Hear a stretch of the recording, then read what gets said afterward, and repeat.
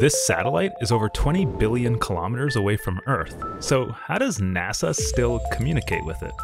At distances like this, it shouldn't be possible due to interference from things like gamma rays, which are emitted from large masses like quasars or black holes.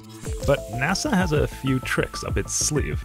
You see, the interference causes a degradation in the strength of the radio signal being sent or received from the satellite, and once it becomes too weak, communication becomes impossible.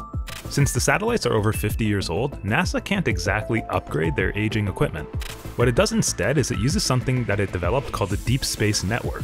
It's a network of massive radio antennae spread around the planet, which, when combining their signal, creates what is effectively a planet-sized antenna. This means it can send much stronger signals to the Voyager 1 than just a single antenna, strong enough to resist the degradation from background interference.